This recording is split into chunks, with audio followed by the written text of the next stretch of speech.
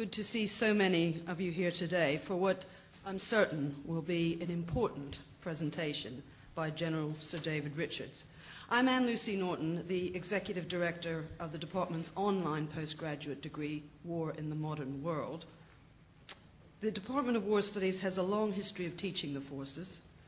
We have over 100 serving British Army officers studying war in the modern world alone right now.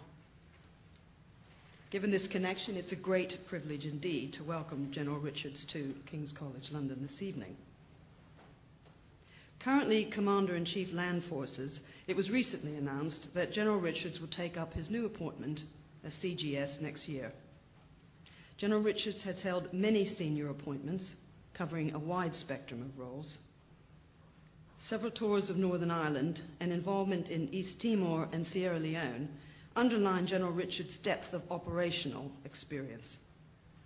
But it was as Commander Allied Rapid Reaction Corps that General Richards served as Commander of ISAF Afghanistan between May 06 and February 07. And it is Afghanistan that will be General Richards' topic today. The session today will be chaired by Professor Theo Farrell, who's head of military studies for the King's War Studies Group. I'll hand over to Theo in a minute, but I'll tell you this there will be time for questions under Chatham House rules, and afterwards there is a reception upstairs in the foyer outside the Great Hall at ground level. Theo? Just one point. Um, General Richard's talk is, the title of it is slightly changed. It's called Counterinsurgency in Afghanistan, a Case Study. Uh, ladies and gentlemen, just to underline, please, that we're very fortunate to have uh, General Richards with us today, and we're especially fortunate that he's going to give us a very frank assessment um, of the Afghan campaign. And so I would underline, please, that this is under the Chatham House rule, which means, to be clear, you may use the information um, that you learn today, but you may not attribute it to an individual or to his institution.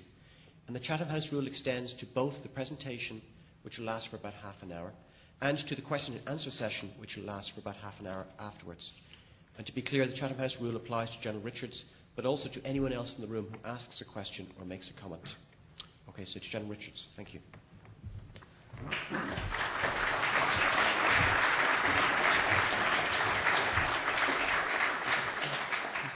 Well, thank you very much. Um, and it's very good to be here. When I was um, Second Lieutenant Richards, which is a very long time ago now, um, I uh, had done a degree in international relations and politics at Cardiff University, which I want you to know is a pretty fine place. Um, and I applied for a place at King's to do uh, an MA. Uh, and um, I think I was on the point of getting one when the army said, and don't forget it's a long time ago now, hearing a hundred majors or something are doing a course here. They said you've just spent three years doing SFA.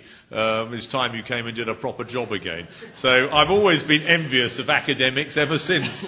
Um, but uh, it's very good to be here, and I do know how important this very uh, well-established linkage between King's and the armed forces, but I think particularly the army is. Uh, so when um, I was asked to come, uh, as we would say, it was a bit of a no-brainer, uh, and it's particularly good to, to, see some mentors in the front row, uh, although it's a little intimidating.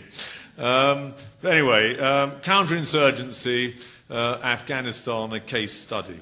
Um, I, I think I'll talk for about 30 odd minutes, as you've heard, um, going to speak about the challenges and requirements of long term success in Afghanistan. And you'll all be aware that we have been told formally and, and, and informally that we should expect to be there, quote, for the long haul. How do you interpret that? Our assumption is that the army will be engaged in one form or another for at least 10 years.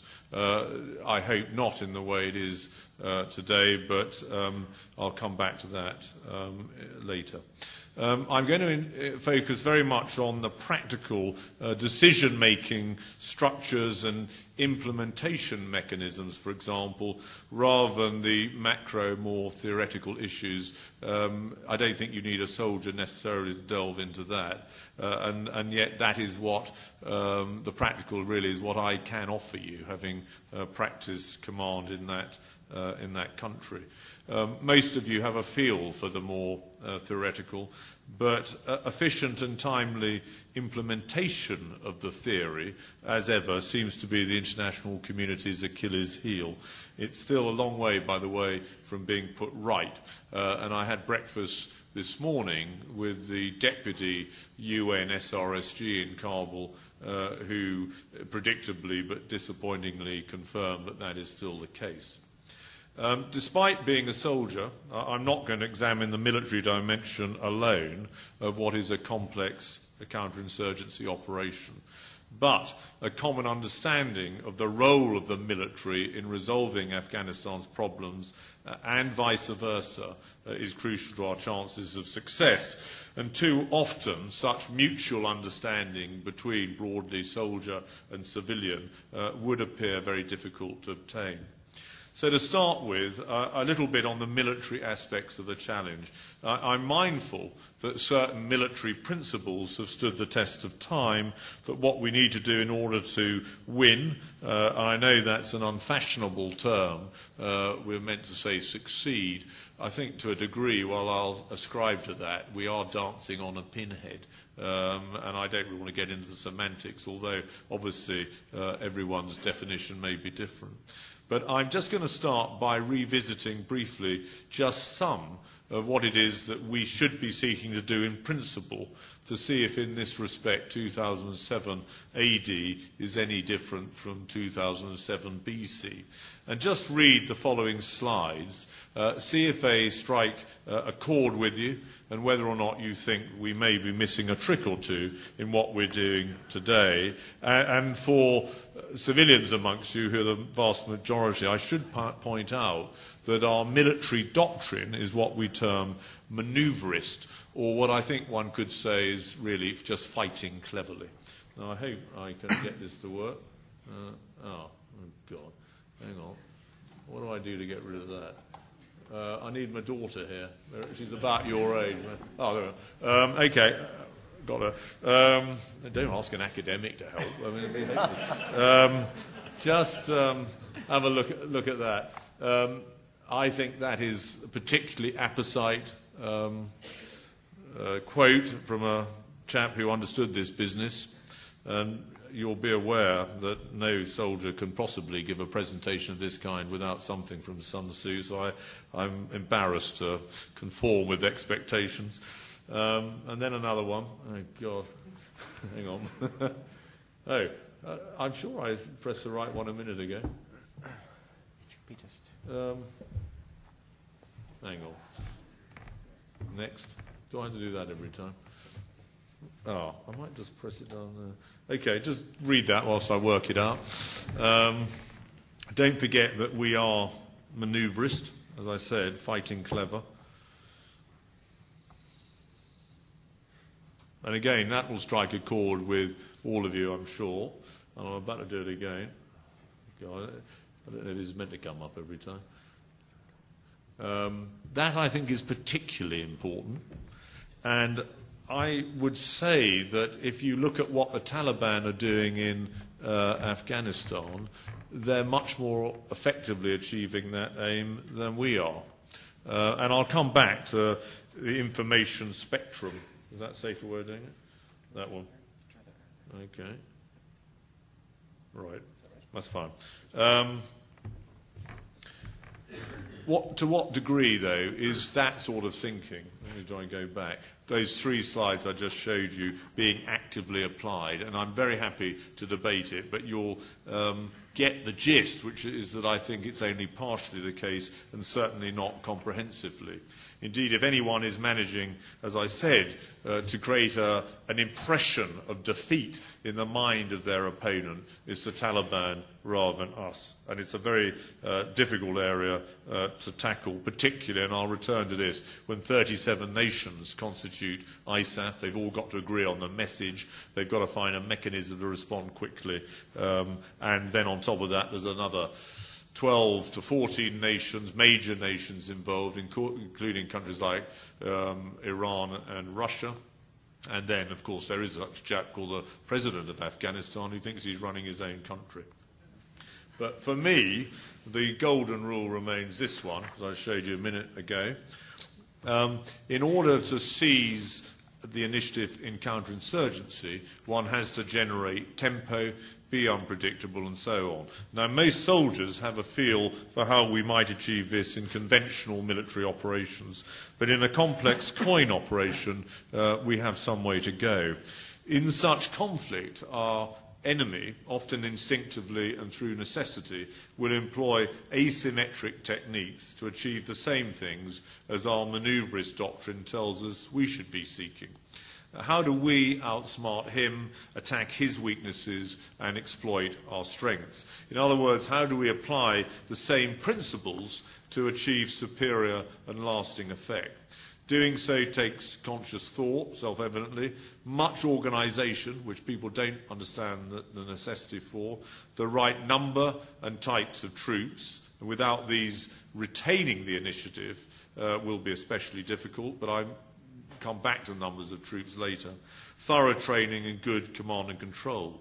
Uh, most importantly, it also requires civilian agencies over which we, the military, often have little control to achieve timely success in a number of other key areas of activity, for example, governance, reconstruction, development, and in the case of Afghanistan, counter narcotics. And there's a chap who knows more about that than me in the audience. Where is he?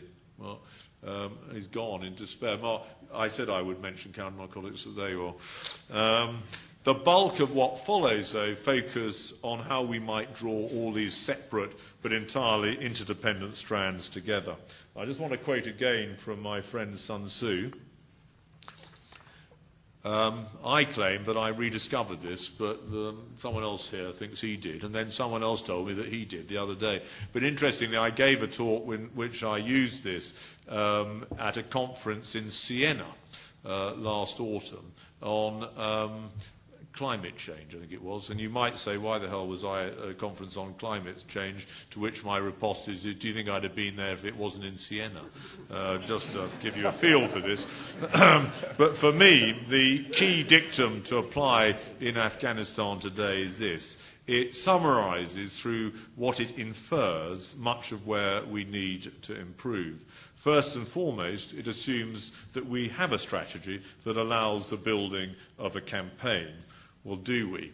Uh, I think only to a degree, and some would say it's less good even than that. And even where countries think they have signed up to one through the Afghan National Development Strategy or the NATO O plan, operational plan, neither is a strategy in the sense of a plan that combines civilian and military effects synergistically and with any sense of urgency. Uh, ideally, having agreed the essentials of a strategy, nations will then devolve authority uh, to their senior representatives in Kabul. Uh, those people, in turn, will then, and this is a trick, I have to say, subordinate their national prejudices to the overall authority of one person. In the military, he or she would traditionally be termed the theatre commander. Um, soldier or civilian, and there's a debate to be had over that, his combined civil military headquarters should be actively orchestrating the campaign, integrating horizontally and vertically all the different influences on the theatre of operations, from the grand strategic at one level through to the tactical at the bottom and across the piece. It would be resourced and have the freedom and authority to do what is expected of it. Now, whilst this never be, may never be realised in practice, and there are considerable difficulties which I'm not naive about, is even the theoretical imperative of such a stru- structure understood by policy makers. Uh, such a structure would give the person at the top what we in the military might term unity of command. And traditionally, this was considered by people like Clausewitz as a sine qua non of strategic su- success. Templer in Malaya only succeeded because he had it. Uh, yet today, it's difficult even for the military to achieve it, especially in a multinational construct. Um, it's even harder uh, if you uh, are working within a military, civilian, multinational uh, uh organization. But to succeed, uh, we must certainly do better in this vital respect, because if not, any plan or strategy, however good, could actually be stillborn in practice. The international community, I think, must appoint a powerful leader, the Ashdown figure, um, and I was very disappointed that Paddy Ashdown didn't get it, uh, the job to work with uh, President Karzai or whoever might follow him. Uh, they together must achieve unity of effort, even if they can't achieve unity of command. And I think that's probably the best that we will ever achieve, and that'll be quite a trick. But he won't be able to do this without the right mechanisms and concepts to underpin his leadership and without people who understand the scope of the problem.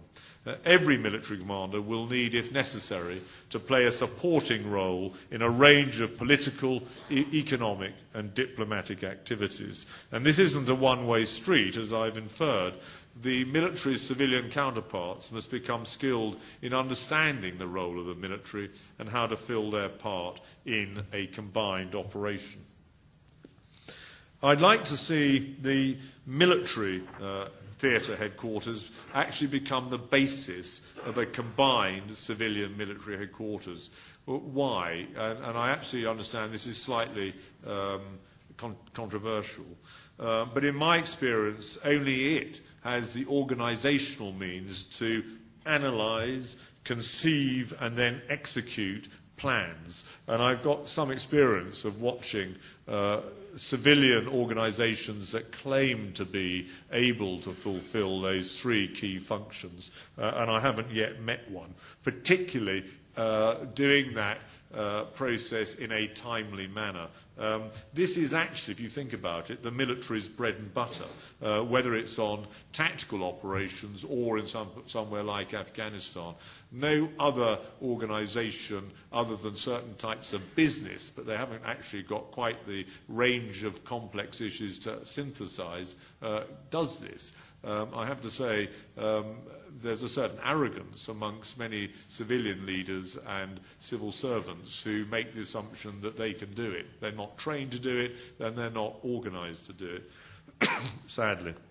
I think they can be brought in uh, and then exploit our processes. Um, by all means, they can lead them, but they don't understand the power of the mechanism.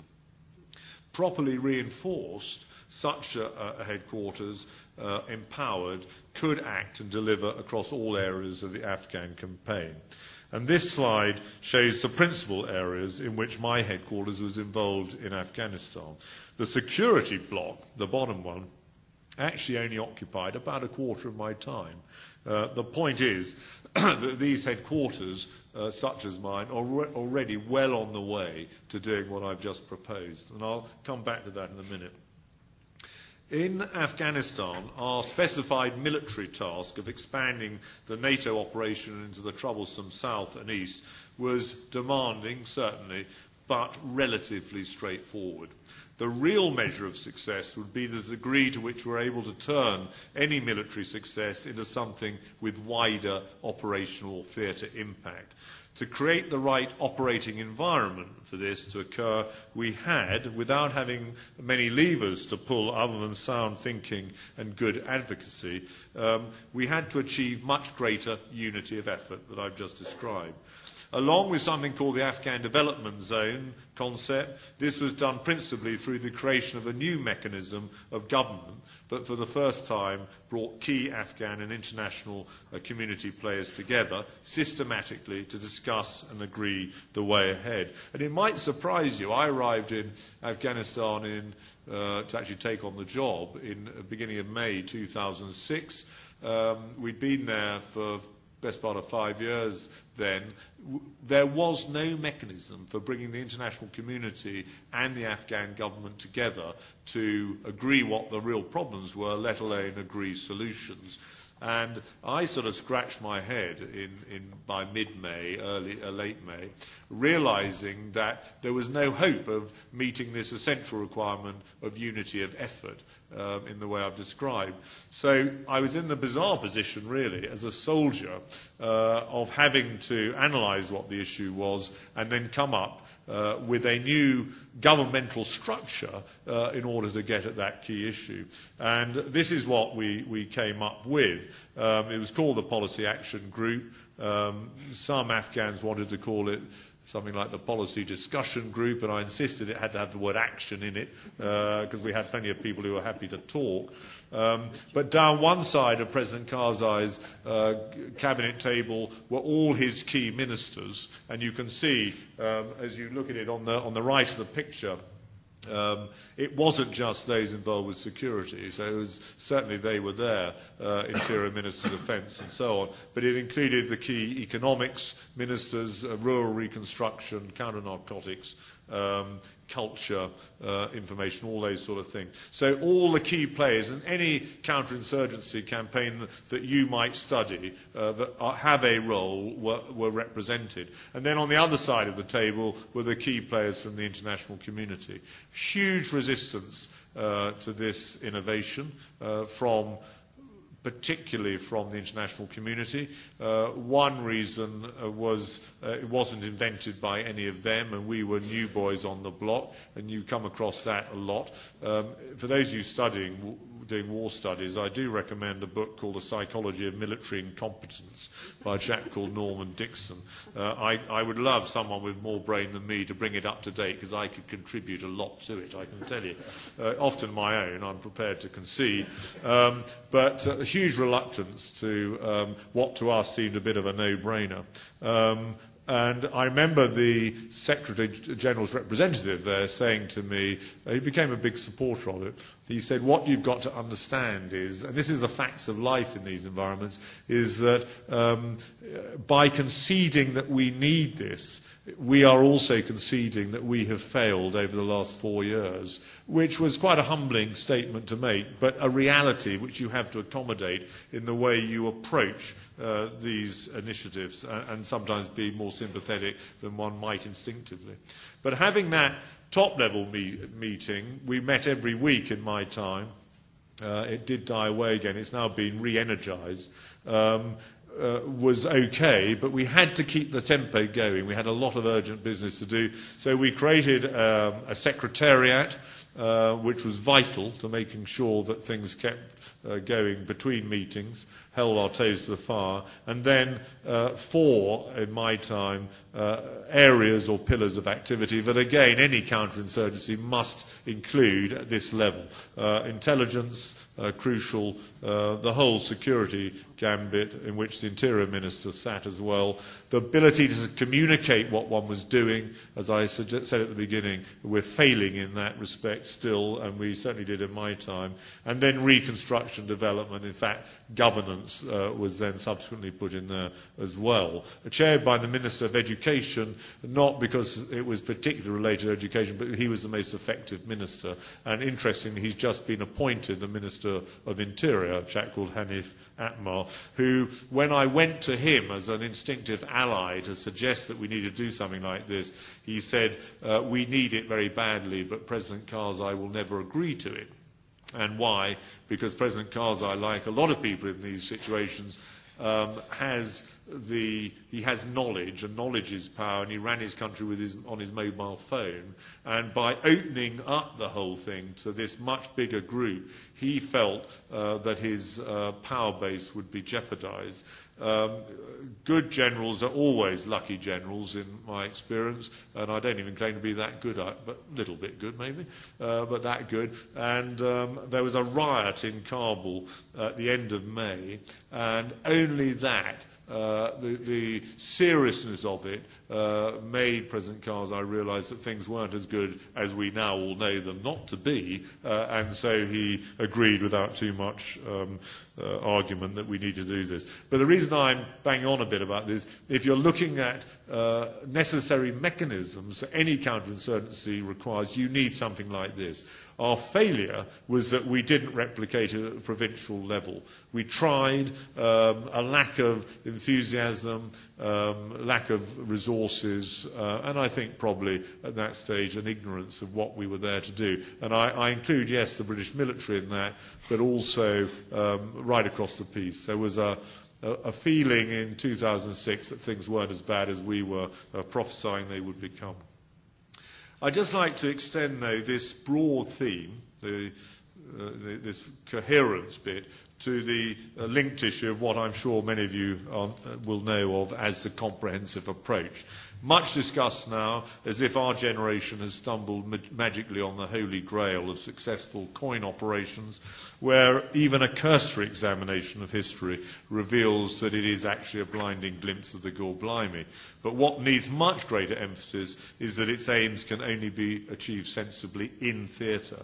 I suspect this was always so, but it's certainly the case today in which um, single nation operations are really very difficult to imagine.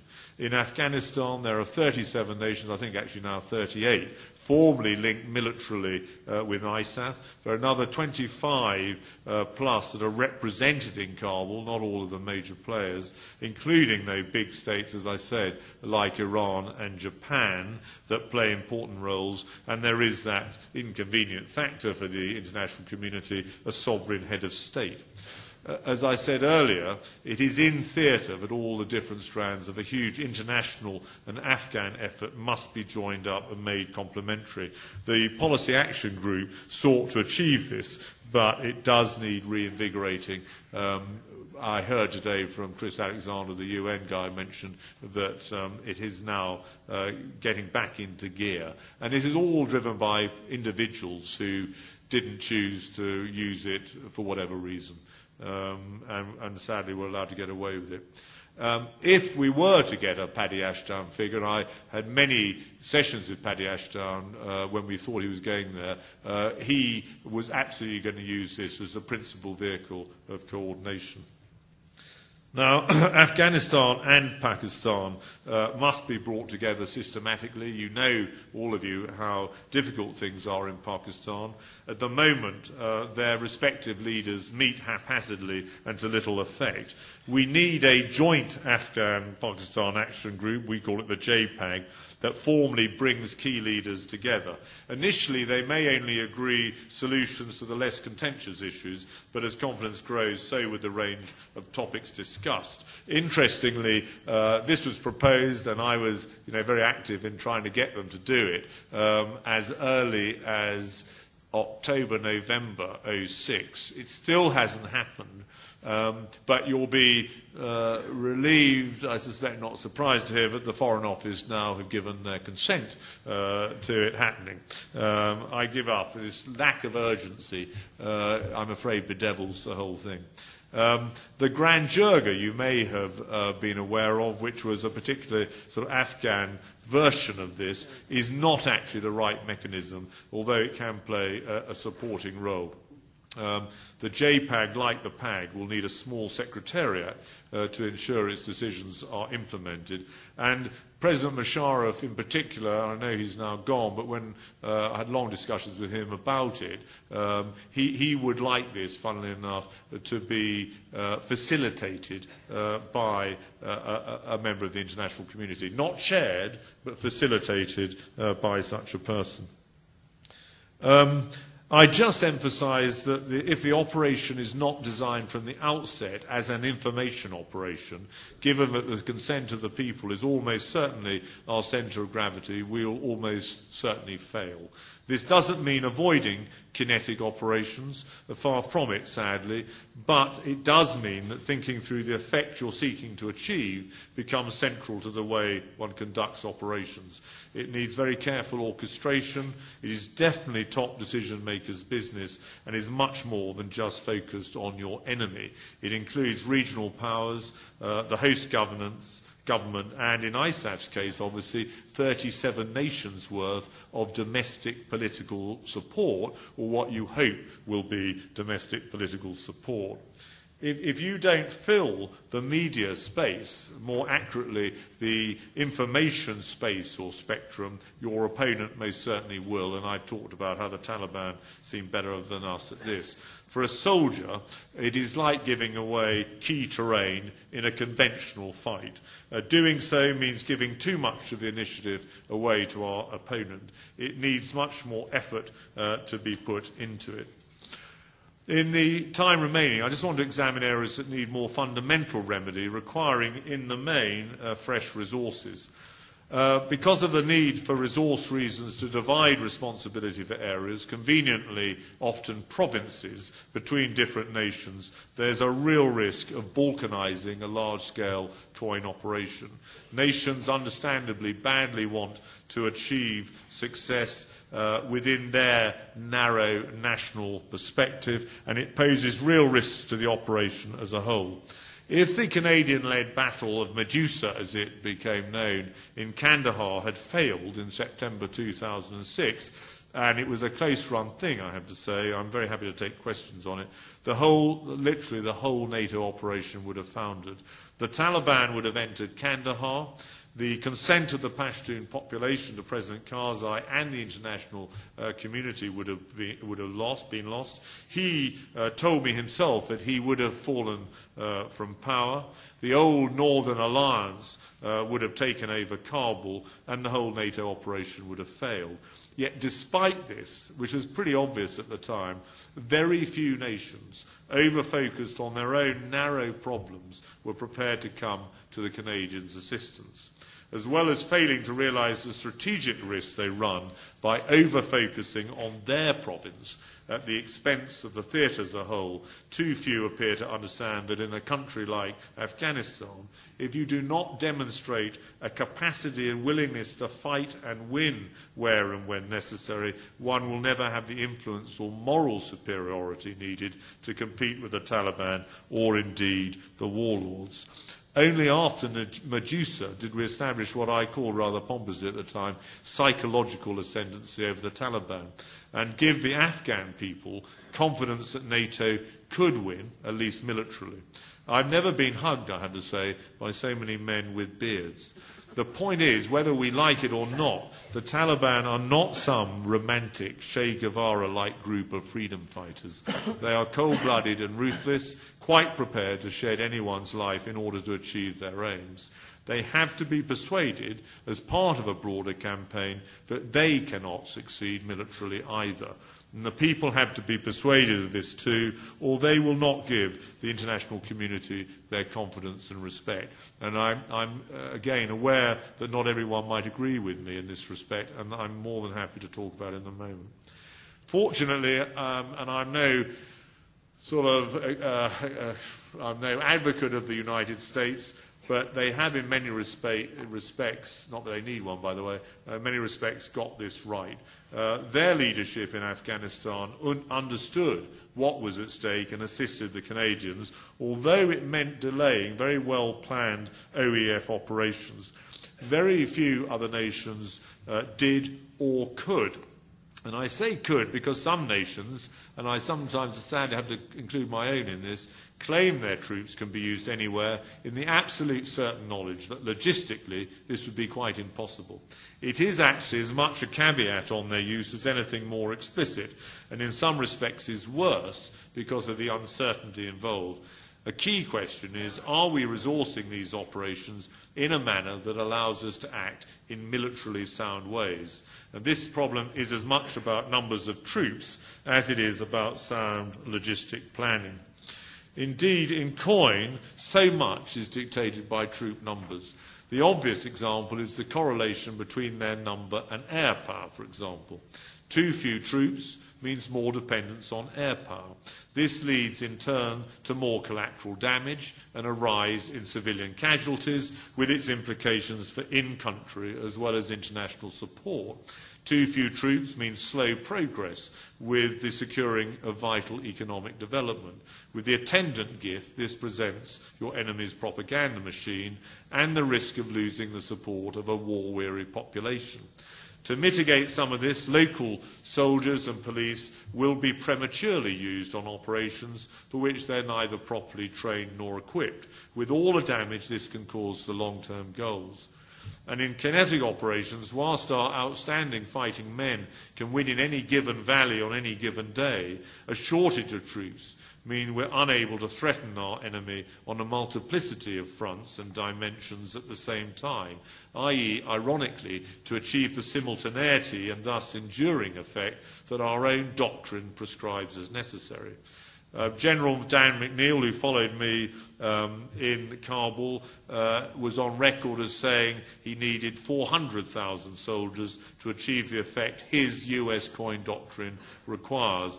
I'm on record more pragmatically, and some of you might have read The Independent the other day, um, and it's linked to mitigating tactics, to which I'll return in a moment, as saying uh, he needs double the current 40,000. And I think the Independent said that I was advocating around 30, but um, actually 40 to 50 is probably nearer the mark. Either way, be under no illusion, we do not have sufficient troops to do the minimum job our civilian uh, colleagues expect of us. It's no accident uh, but the US surge has had the effect it has in, in, Iraq, for example. And another interesting historical example, in 1972 um, in uh, Belfast, things, uh, none of you were well, back, back rows will remember this, but uh, things were not good in Belfast in 1972, and the decision was taken to conduct a surge operation. It was known as Operation Motorman. 30,000 British troops went and uh, cleared these no-go areas and stabilised the situation. Obviously, then led on to develop different tactics from the IRA, but the principle is exactly the same as applies today in Iraq and Afghanistan. Um, in Afghanistan, troop shortages and a relative paucity of development cash and expertise forced us to create a concept that soberly reflected the need to focus effort in geographically defined areas so we could demonstrate solid progress as part of our own information operation, and these were the so-called Afghan development zones. They were designed actually not just to do more of the good things that we all wanted to do there, but to puncture the Taliban's claim that the government of Afghanistan and the international community were not delivering on their promises and that life would be better off under them. Within the zones, we had to demonstrate sufficient progress with which to construct an information campaign that was rooted in substance and not in spin. Uh, our aim was to restore the confidence of the people and give them the resolve to stay the course. ADZs were and remain a necessary response to an under-resourced operation. And They need to be better understood and supported, particularly by uh, certain nations and many of our civilian colleagues, if we're to achieve a critical mass of good work with which to persuade the population to stay the course. And I was glad to hear again today that actually the ADZs have now been uh, re-adopted as the basis for the NATO uh, campaign. Now, whilst there's not enough money going into Afghanistan, there is still a lot. Uh, so why is it that we're failing to persuade the people that all the effort is worth the pain? I recognise this is contentious, but until the West stops trying to turn Afghanistan into Switzerland in five years, it will continue to court failure. What the people really and repeatedly told me they want was very simple, give or take. It's er- irrigation, electricity would be pretty good, roads and jobs. Schools are good, but not their top priority. Ditto health provision. But that's what the West has tended to focus on, and too often uses as measurements of success, while ignoring more important short term issues without which schools could sadly become irrelevant use um, proven Afghan led schemes like the Afghan Reconstruction Trust Fund and National Solidarity Programme, which provide a key vehicle for joint programming. The uh, former are now active in 23,000 villages, and successful large-scale programs include the National Ring Road, telecoms, and the National Emergency Employment Program. Um, on this subject, I remember, because I, I, I, will concede, she was a pretty woman, uh, came to see me in Kabul, and um, she was the Danish, I think, min, uh, Minister of Development. And uh, she told me what her country was doing in their province, and I said, well, that's marvellous. But what I know they most want up there are roads. And she said, but we don't do roads. And I said, isn't it time you thought of doing what they want rather than what you think they need? And to be fair, she sort of took it on the chin. Um, but pretty salutary, if you think about it. Uh, the arrogance, I have to say, of the international community is sometimes breathtaking uh, and um, pretty disgraceful. Um, time precludes me covering the issues of the issue of CERPs, commanders, emergency relief program spending in detail. But when will nations properly understand that CERPs or its equivalent bag of gold is central to creating a neutral or better still a positive operating environment? It's this that allows us to keep the ever leaking well of civilian morale topped up while the long term development money kicks in. It is a battle winner and a life saver. Without it, one hand is too often tied behind our back. As in so much else, only the US resources this properly. There's much talk about uh, our asymmetric opponents, but little of our own need to act, as I said at the beginning, in similarly original ways. The doctrinal guidance is, I would argue, at hand if appropriately translated. Are we being unpredictable and treating all situations as unique? Are we meeting Simpkin's advice to persuade the enemy of the inevitability of failure? In our case, the ADZ concept was an attempt to apply manoeuvrist principles, but as I, I, hinted, many nations showed a reluctance to understand its wider subtlety and effect on the mind of belligerent and passive supporter alike.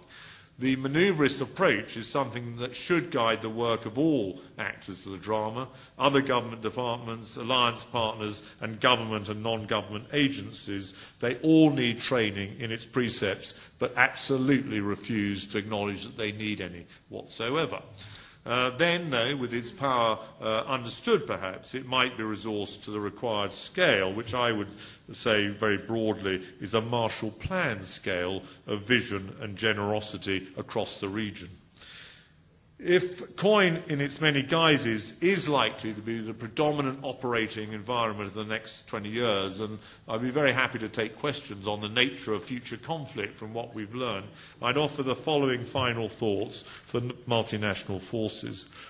All the various actors involved in the campaign should be working to a common plan, the focus for which is in country, not back in national capitals.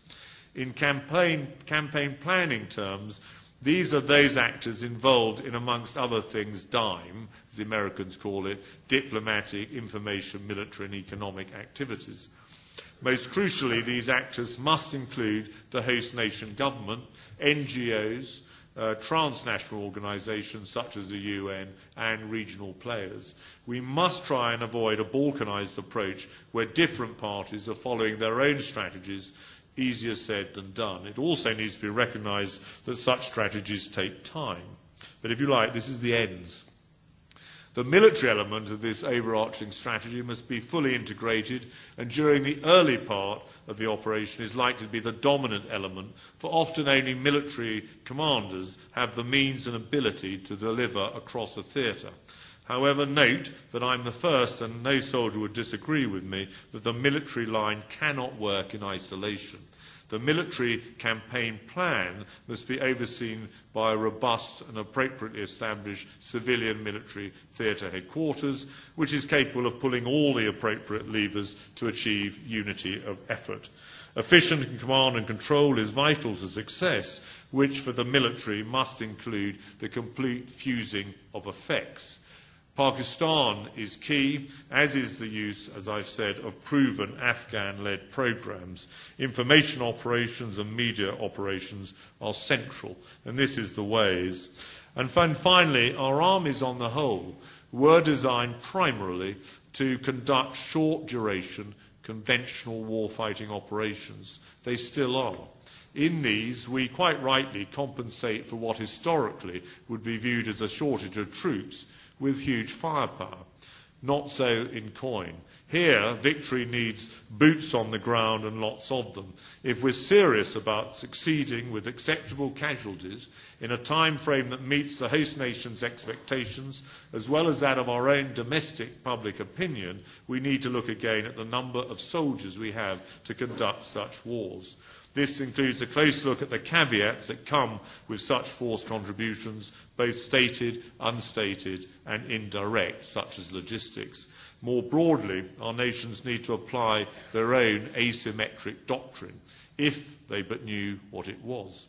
Properly resourced, it offers us every prospect of succeeding. And succeed we must, and I would come back to that in questions. But this is the means. Of one thing, and here's my final slide, I'll let you read it, I'm sure Afghanistan, I believe, and every British soldier that served there, is a good war, and if we get on with it, it can be won. In which case, a reworked version of this succinct piece of impolite, homespun philosophy should apply to those of us fortunate enough to have served there. I have a load of Patton quotes, but I'll make do with that one tonight. Thank you very much indeed.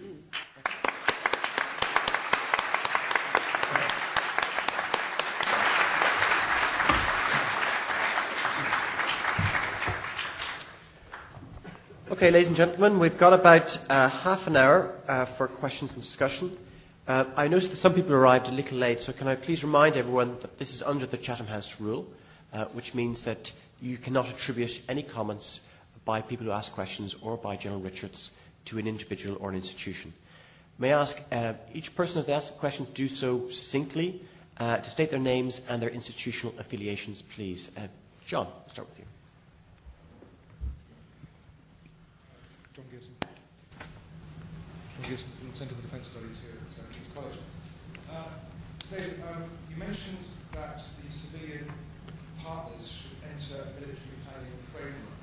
Um, I would comment that if you talk to the civilian people who planning to do that, they say, yes, the military always say, come and plan like us, and it work seamlessly. And they obviously believe they are capable of planning different effective ways.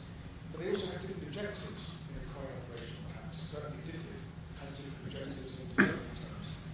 Is it time to actually construct or create a different organisation which would have the purse strings to support COIN rather than asking what is fundamentally a local agency interested in alleviating the poverty to try and change itself to work with the military? Um, very good to see you again. Um, I think we're not actually that far apart. Um, First of all, in the case of um, whether or not we use a military headquarters, um, I'm really suggesting that the process that the military employ, I think, to good effect, because in a military context it works, uh, should be employed um, in a, a, sort of coin headquarters. Um, it could be run by um, civilians, actually. But what they don't have is that sort of mechanism. Uh, but they don't go to staff colleges. Uh, they don't bother with that. I mean, in the case of the military, um, we must probably be, and I suppose one groans at the time, one of the few organisations that continues to train and test one's officers, but also soldiers in a different manner, all the way through one's career. That takes a lot of hard work and training. Uh, we have staff officers, we have commanders. Um, they don't have that sort of person in the Foreign Office or in DFID. So it's the process that I'm advocating, and uh, um, I think most um, with a bit of um, give, it, give and take. Uh, most civilians I know who um, are involved in this area would agree that in principle it's something we should aspire to. Um, but then moving on to um, DFID in particular, um, I'm a great fan of DFID in the round, and I operated quite a lot in Africa and saw some marvellous work that they do there. But there's no doubt at all that they are the wrong organisation in my very humble opinion, uh, to try to work uh, under uh, great pressure of time and danger, um, such as they're trying to do very gallantly in many individual cases in Afghanistan and Iraq. Um, I, I, it is frustrating for a soldier because within the military, and particularly the army, um, particularly I'm thinking here, I include the territorial army, we have everybody from top bankers uh, through to you know, plumbers and artisans uh, at the other end of the scale. We could create tomorrow, if we were resourced to do it, um, a perfect counterinsurgency team with expertise in all the key areas. Uh, we're not allowed to at the moment because there is a debate uh, within Whitehall, uh, and the debate is something which we are currently losing. Uh, I think it's because there's a certain, I, I, think a certain arrogance in the part of uh, some of our uh, civilian colleagues, but also no sense of, of, urgency in terms of trying to resolve it. Uh, I'm not suggesting they shouldn't be part of the solution, but they both in process terms and in personnel terms uh, have a long way to go. So um, I, I would like to see them integrated with our effort more um, and um, within a broadly military construct until the situation has improved sufficiently to allow them to take on and do the work they do brilliantly in other parts of the world. James, please.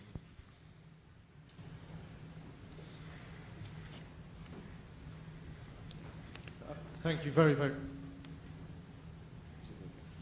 Thank you very, very much um, for, for, for, the, for the talk. Two questions, both very short. A few months ago, at an international meeting in Brussels, some Afghan participants raised questions about the use of air power and the collateral damage, uh, which was initially assumed by others to be owed to the Americans.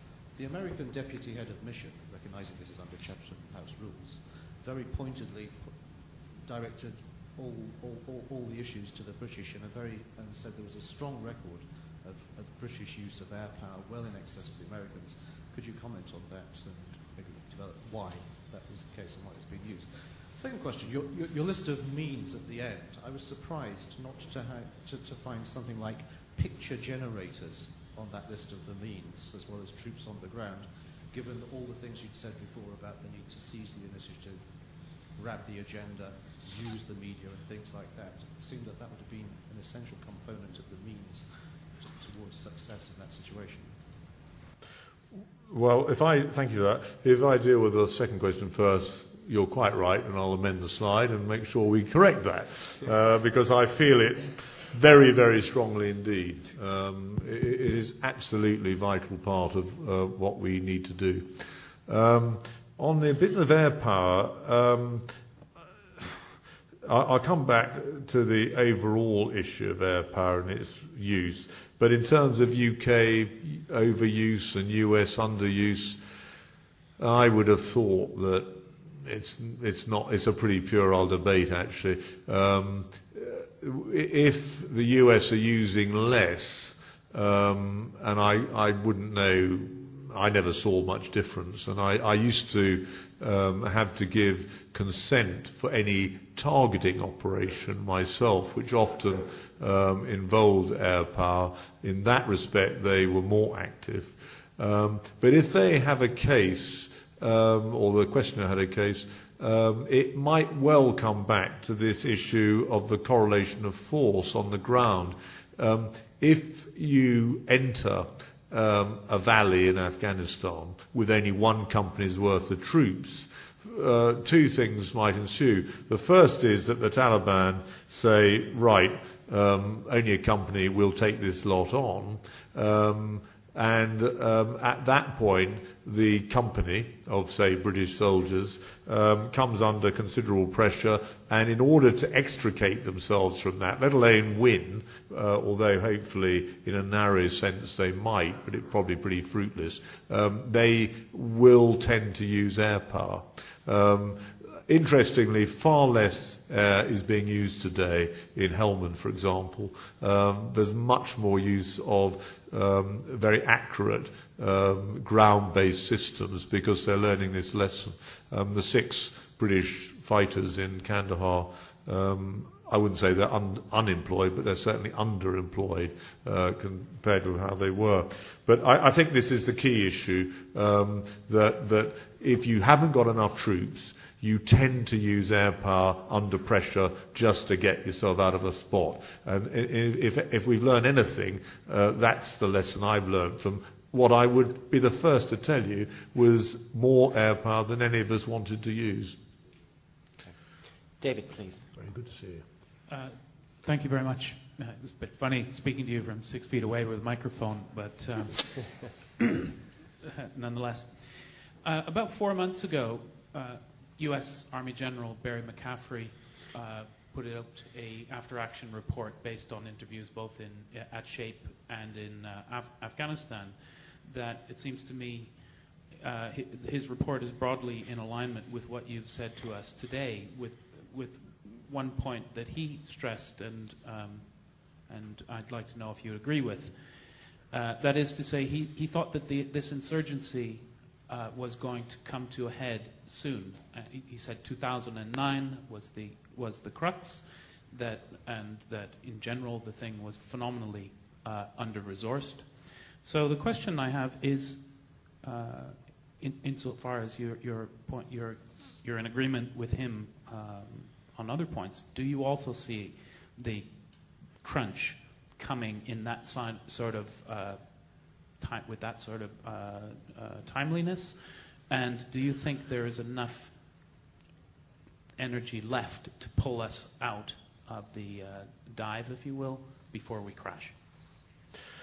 Well, I know Barry McCaffrey um, quite well. Um, he came out to Kabul when I was there.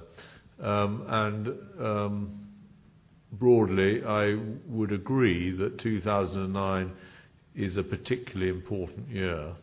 Um, that said, I, in 2006, made myself very unpopular um, in the, through the media back in Washington and London for saying similar things.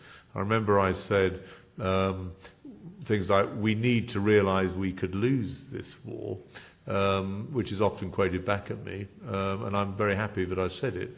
Um, I also talked about the international community being anarchic, for which I got in real trouble. Um, but I think 2009 is a difficult year because the Taliban have got, sadly, in a different way than I was talking about, psychological ascendancy at the moment. I was there in July, and there's no doubt that there is a feeling of encirclement within Kabul. Uh, I was with uh, Ashraf Ghani, many of you will know, um, a very eminent Afghan who nearly became the Secretary General of the UN. Um, on Sunday in Washington, and he'd just come back two days before, um, and he said it's it is pretty bad.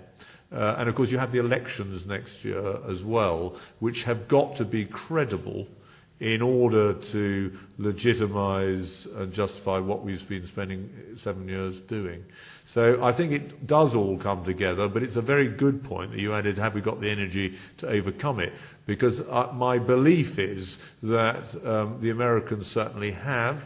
Um, you now all know uh, that uh, President Obama will take office in January. Uh, he's on record uh, as uh, saying that he will put more effort in uh, to Afghanistan. I was when I was in America. I think the American Army, who absolutely share the need to succeed, are worried that they're going, he's going to put more effort in more quickly uh, than they would like in terms of their ability to sustain all this effort uh, in Iraq and Afghanistan. The US Marine Corps um, are putting in uh, or want to put in more effort. So I think the Americans are on the case. Interestingly, Obama will um, put the European nations to test because there's, there's going to be, as you've already seen, a huge groundswell of goodwill towards him.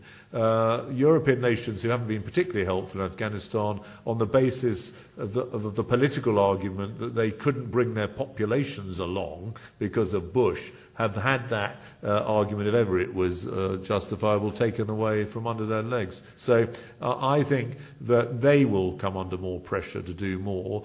I know France um, seared by their tactical experiences in August, are really determined for almost reasons of national pride uh, to do better and more.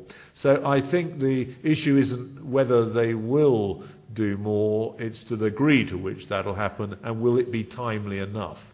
Um, but I think everyone is on the case, and the elections will be a catalyst for action. And I, as the force provider in the UK uh, Army's case, uh, I'm expecting to be told to, to, send more troops to Afghanistan. But, but we will see. Uh, ladies and gentlemen, um, great questions from faculty members David Betz and James Gow. But can I please remind you to introduce yourself, name and institutional affiliation, because I'm aware there'll be some non-King's people in the audience for General Richards. Uh, and next question is down the back there, please.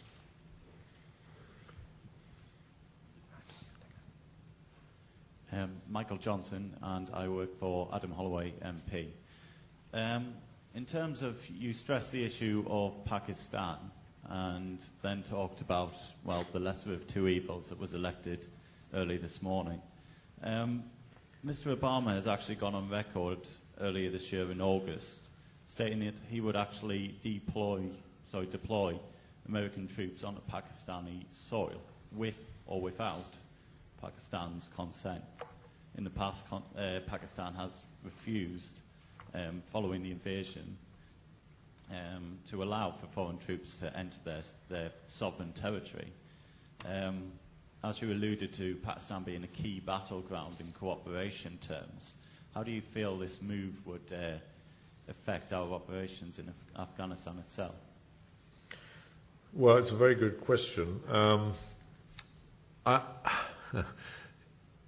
the Al Qaeda is not popular amongst the traditional Taliban, both Pakistan Taliban, as we now might call them, and Afghan Taliban. So perversely, attacks on Al Qaeda within Pakistan, and I'll come back to whether it should be troops on the ground or not in a minute, um, doesn't always um, go down quite as badly as the propaganda that results from them um, might suggest. Um, so I would just remind people to keep a distinction between AQ and Taliban.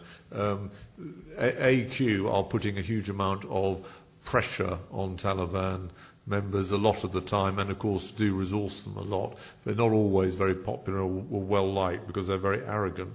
Um, now, should um, US troops um, deploy on their feet into Pakistan, I think that would be probably a, a bad move.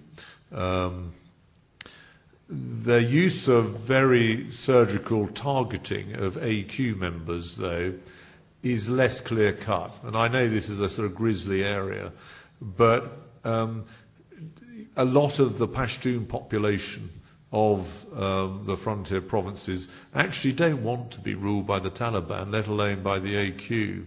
And if you can't get at them in any other way, and it is very difficult, um, the terrain there, as you might know, is very, very demanding. And you might think, well, why can't 700,000 Pakistan army soldiers do it? Well, I, I, can tell you, having been there, I understand it. And if you think about it, in the case of the frontier itself, as an aside, the British army throughout all those years in Northern Ireland, only an 80 mile border, which was pretty benign, never controlled that border. So it's hardly surprising two and a half thousand odd kilometres of the most demanding terrain in the world is a problem for a very under-resourced uh, army to control a movement across. But I think, I think although I would treat each one on its merits or not, um, the issue of the targeting of hardline, by definition, probably Al Qaeda members, I, I, wouldn't want to comment on. Um, I can see there is a case. And interestingly, the Canadian UNSRSG deputy, who I had breakfast with, as I said, he, pretty mild uh, guy on the, in the round, he would say that sadly you know, this is something that might occasionally have to be done. But I wouldn't endorse or approve cross-border movement by troops.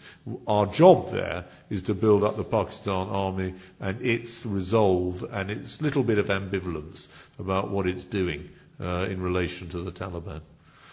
Thank you. Anatol, please. Uh, thank you, sir. Uh, Professor Anatol Lieven, Department of War Studies. Uh, if I could pick up uh, your, latest, your last point and perhaps ask a question in a more pointed form. Um, when I was in the Pashtun areas of Pakistan this summer, I didn't find a little bit of ambivalence um, on that subject. I found very little ambivalence when it came to sympathy for the Afghan Taliban. That was overwhelming. Uh, just overwhelming in the ordinary population, uh, including the areas from which the army are recruited. And so my question is, if it is in fact impossible for the Pakistani army uh, to take serious action uh, against Taliban support, Afghan Taliban support, I'm making a distinction here with Pakistani Taliban, uh, can we win in Afghanistan? I mean, as you'll be well aware, the precedents are not encouraging where guerrillas have uh, safe havens in neighbouring states. And if we can't win, would it be possible for you to say something uh, about what our minimal goal is in Afghanistan? You said that we can't hope to build Switzerland. What can we hope to build? Thank you very much.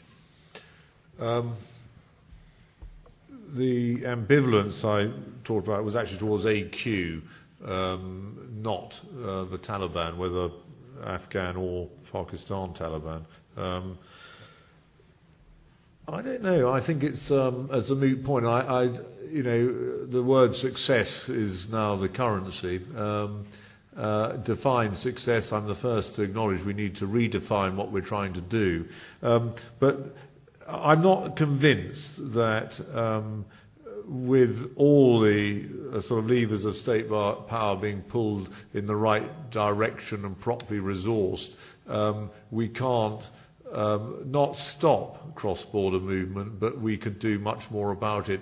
When I visited the Pakistan Army, um, their degree of under-resourcing, even by an army that complains bitterly about it uh, ourselves, uh, was pretty mind-boggling. Only one helicopter in the whole of Baluchistan, for example, when I was there in 2006.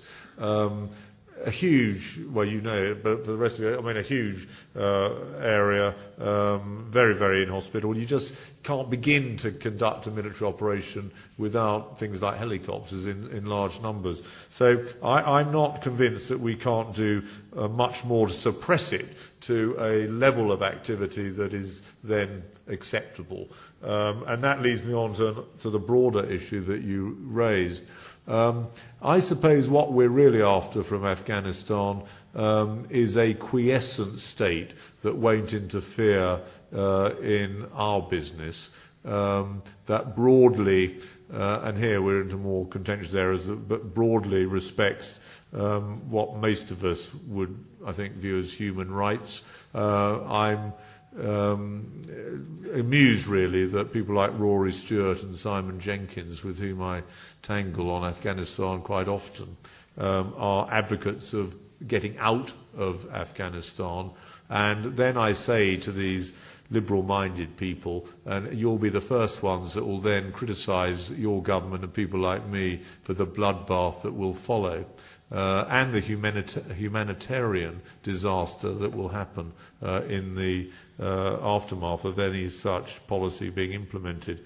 Um, so um, I think uh, sensibly modest ambitions, but one which um, broadly, from a position of strength, allow us to negotiate with uh, reconcilable members of the Taliban. And don't forget, uh, you all know this, but the Taliban is a is not a monolithic organisation. There's all sorts of people that you and I might categorise crudely as Taliban, uh, and may even claim themselves to be Taliban, that are actually everything from out of work young men uh, through to tribal elders that object to the tribal elder that happens to be the provincial governor.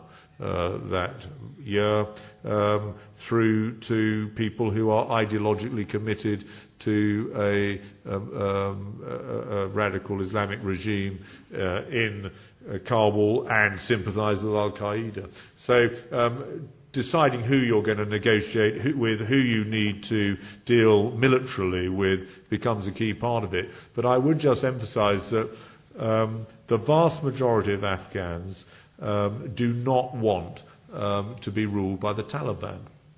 And this is an inconvenient fact for those that advocate, um, you know, early surrender options. Um, at the end of the day, someone like me, I'll do as I'm told.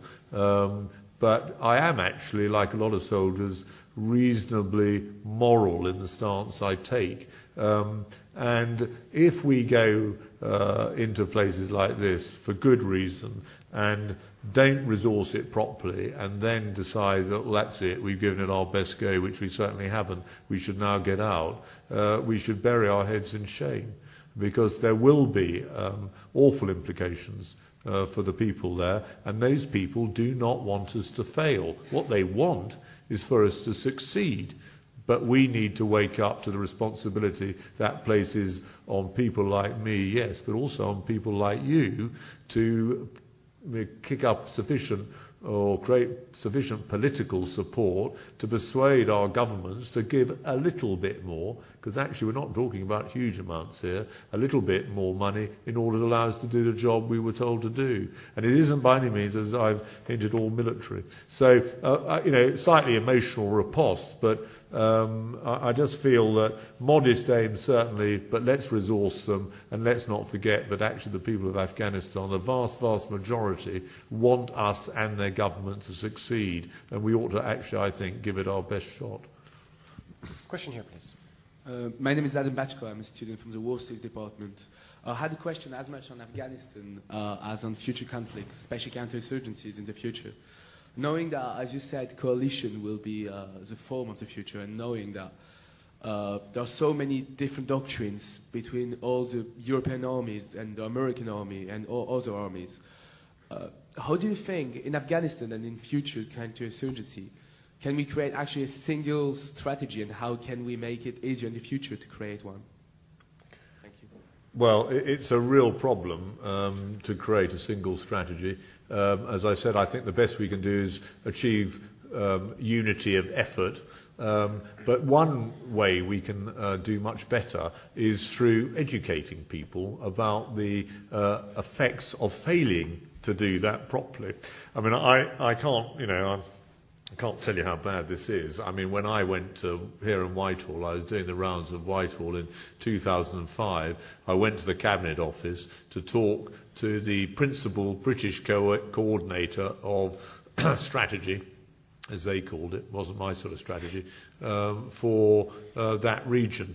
Uh, this person did not even know that Britain had signed up to the NATO O plan um, which actually wasn't isn't too bad as a basis for a strategy. She, uh, that person, before I reveal which sex she was, um, didn't know that. Um, did I say she? He, he or she was. Um, uh, that person did not know that we had signed up to this. So, I mean, that gives you a feel for the depth of the problem, which you obviously appreciate. I mean, there are mechanisms. Uh, uh it's how discretionary the war is.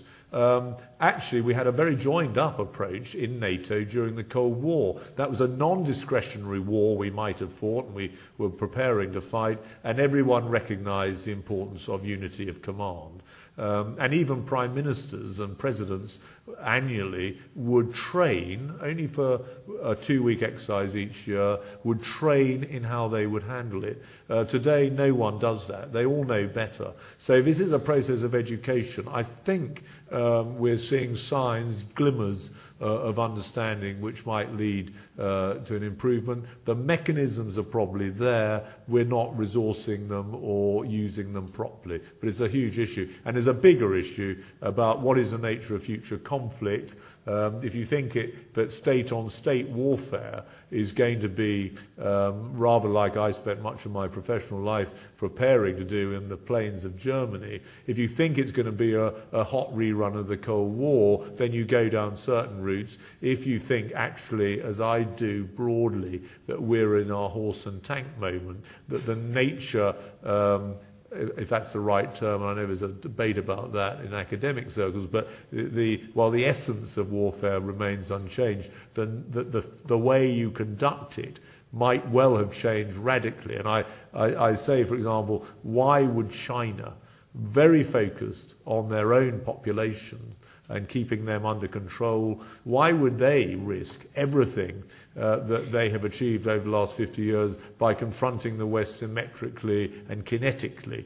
Uh, my own view is that if state on state warfare is still viable, and I do believe it could be, it's not in those ways. It's going to be through guerrillas, proxies, cyberspace, um, economic subterfuge, and we need to gear up to combat that type uh, of threat rather than uh, re-equipping our armies um, in, in, the way we did. Uh, Russia, beyond the fact they are hugely less uh, potent an opponent than they even were in the Cold War, and I've just come back, uh, well, uh, in September from a, a, a one-week study on what we might have done.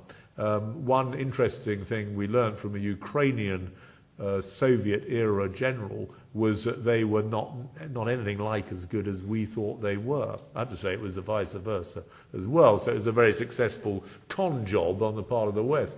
But um, uh, it's important that we get our minds around those issues because from that will uh, you know, flow things like how we exercise command and control and achieve the things that your question very wisely got at. Okay, ladies and gentlemen, I just want to take a few more minutes because we've got three questions in the queue. I'll take no more questions.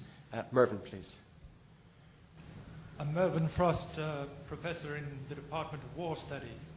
You mentioned in your talk the importance of the information campaign, and you also mentioned that uh, at the moment the Taliban has the psychological uh, upper hand.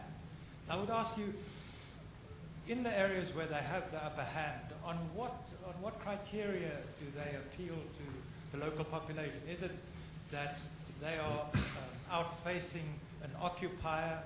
Uh, is it uh, that innocents are being killed by this occupier? Or is it uh, a reign of terror? Because my thought is, over such a wide expanse, it couldn't, it would be difficult to have a systematic reign of terror. So, what other criteria uh, is the Taliban or are they using? Thanks well, it's all uh, all of those in different mixtures. Um, the, there's no doubt that again, and I don't want to sound like a worn record on this, but if we go into um, a valley in Helmand, um, successfully defeat at the low tactical level the Taliban, but then move out of that valley again, and the locals know it, um, they are not going to give us their support. Um, uh, we can't sustain the effect we might have achieved for a short time.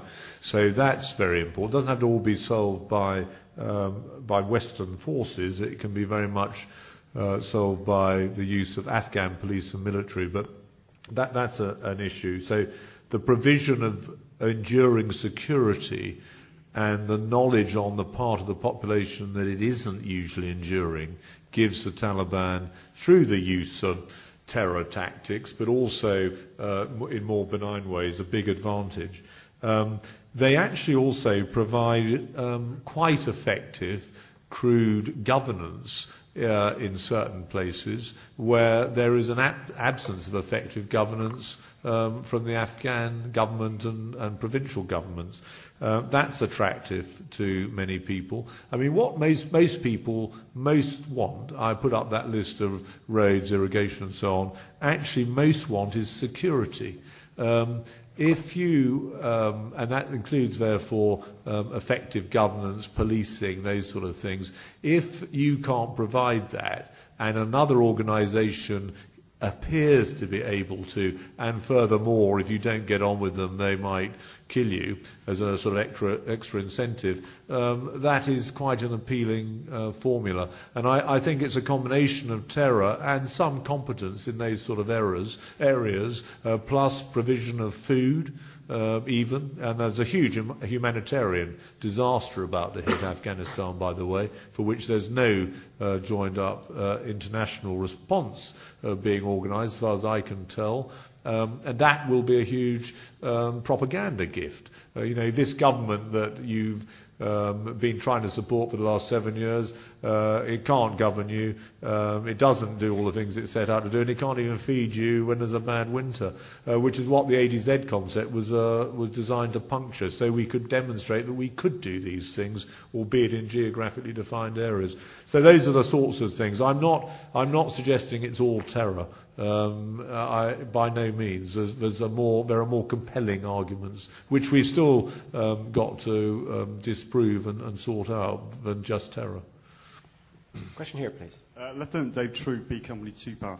Um, in my personal experience, um, especially in the Upper Sangin Valley, the overwhelming motivator for the Taliban is not ideology, faith, or political power, but it's actually opium and it's the drug trade.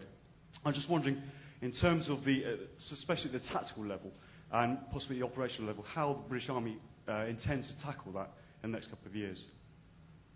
Did I authorise your attendance at this meeting? no, very good. Were you, have you just come back? Yes. Yeah. Well, I'm sorry I didn't see you on, on my visits. Um, or I might have done, but you would have been dirty and probably unshaven. Um, I, I think it's a key issue about which there's real muddle. Um, and we were talking about it earlier. Under the NATO O plan, although it's just been amended, uh, but to give you an idea for the depth of the muddle, um, uh, you, and you probably know this, um, it wasn't even in my riding instructions. Uh, and yet we could see, and it's got worse, even in 2005 when we were formulating our plans for the expansion of NATO into the south and east, that this was a key part of any coherent campaign.